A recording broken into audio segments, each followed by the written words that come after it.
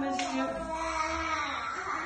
Mboulou Bella Fabrice, né à Kinshasa le 13 août 1987, numéro de registre national, on l'avait vérifié, il est bon, et son épouse, Mme Aïnot Abinawe Terry, née à Kinshasa le 9 juillet 92, numéro de registre national, on l'avait également vérifié, et vous êtes domicilié en Centre-Châtelet, rue du Pognon 47.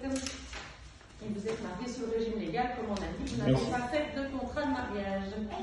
Vous êtes dénommé l'acquéreur. Et ici, ce qui est vendu, acheté, c'est le bien à Couillet, rue du Coucou, numéro 81. On a repris le numéro cadastral de la maison. Il y a une contenance d'un arbre 10 centiares. La maison, je ne sais pas si vous l'aviez vu sur le plan cadastral. Donc la rue du Coucou est là et c'est la maison ici.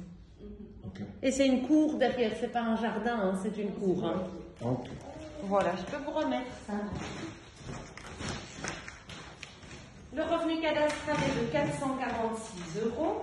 L'origine de propriété, mais c'était un acte de montant. Vous pouvez faire un Madame, enfin tu as ta maison. Je tenais à te faire faire cette surprise. Ça a l'air. Elle m'a fait des jumeaux. Ah oui. Quatre beaux enfants. Quatre beaux enfants à mériter en tout cas.